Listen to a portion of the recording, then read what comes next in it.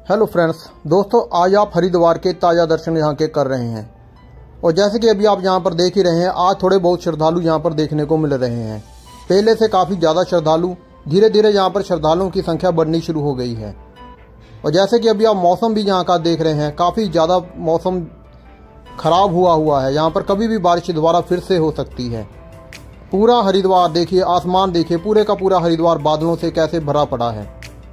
और नीचे का है जो गंगा जल। काफ़ी मात्रा में अभी आज यहाँ पर गंगा जल देखने को मिल रहा है। तो आगे चलकर देखेंगे, घाट पर भी काफ़ी श्रद्धालु स्नान कर भी रहे हैं। वैसे तो ज़्यादातर घाट जहाँ पर खाली ही नज़र आ रहे हैं। बाढ़ के कारण लोगों के मन में थोड़ा बहुत डर रह गया है, जिसके कारण लोग गंगा जी में स्नान करने से डर रहे हैं। और सामने देखिए, कितनी काली घटा यहाँ पर आज हरिद्वार में छाई हुई है। अभी हम ये दृश्य आपको हाथी पुल के ऊपर का दिखा रहे हैं। जैसे कि अभी आप ये सारा कुछ देख ही रहे हैं। दुकानें लगी हुई हैं हाथी पुल के ऊपर। और श्रद्धालुओं का आगमन और वापस जाना जहाँ से हो रहा है।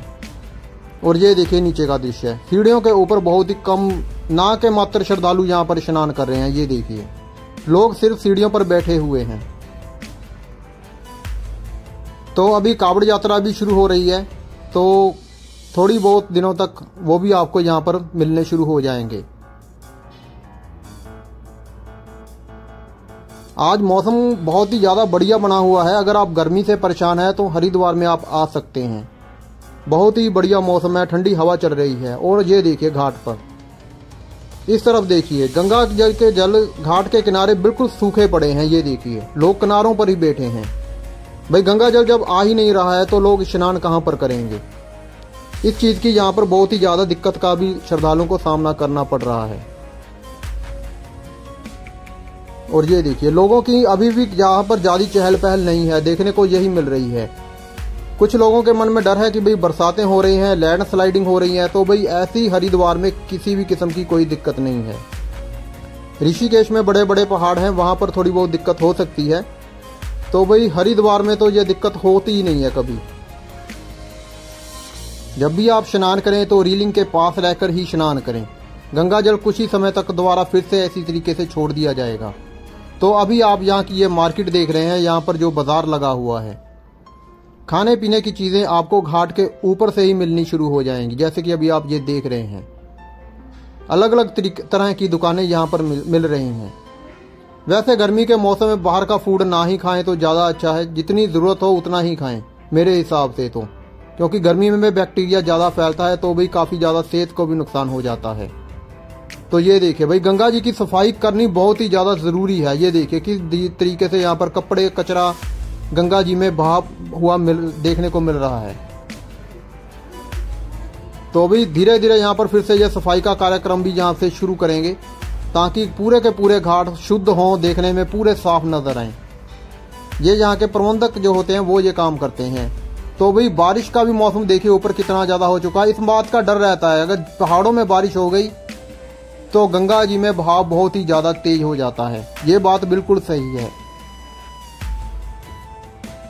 ऋषिकेश की तरह यहाँ पर वो माहौल नहीं होता। यहाँ पर जो जल होता है, वो पूरी तरीके से कंट्रोल में रहता है। अभी सुभाष घाट की अभी आपको यहाँ की वीडियो दिखा रहे हैं। ये सुभाष घाट है। और देखिए यहाँ पर लोगों की चहल पहल देखिए भाई, बहुत ही ज़्यादा कम नज़र आ रही है। और शाम के समय में यहाँ पर गंगा जी की आरती होती है और बच्चे देखिए यहाँ पर। बच्चों की मौज हो जाती है अभी यहाँ पर आकर। खुले में ग्राउंड मिल जाता है और क्या चाहिए, साथ में गंगा जी बह रही हैं। मज़े करते हैं पूरे पानी में आकर। और वो देखिए कितने बीच में ये भाई साहब चले गए हैं, वो देखिए।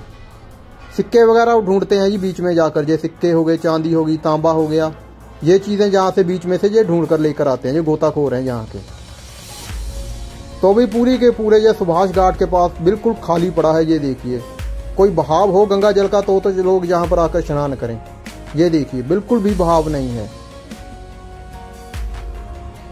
अब देखते हैं कब तक ये जल को छोड़ेंगे तो अभी ये इन घाटों पर रौनक दोबारा फिर से आएगी। और ये देखिए, कंगल हो गए लोगों के कपड़े, पन्नी, जूते, यहीं पर लोग छोड़कर चले गए। घाटों की सफ़ाई होनी बहुत ज़रूरी है। ये देखिए, रीलिंग पर किस तरीके से यहाँ पर कपड़े टंगे हुए हैं, ये देखिए। और साथ में ये दुकानें भी लग रही हैं यहाँ पर, ये देखिए, पास में। तो अभी अगर हरिद्वार में आप मज़ा लेने चाहते हैं तो गंगा जल में स्नान तो हर की पौड़ी के पास चले जाएँ, वहाँ पर काफ़ी जल आपको मिल जाएगा स्नान करने के लिए। लेकिन दूसरे जितने भी घाट पड़े हैं, वो सभी के सभी सूखे पड़े हैं।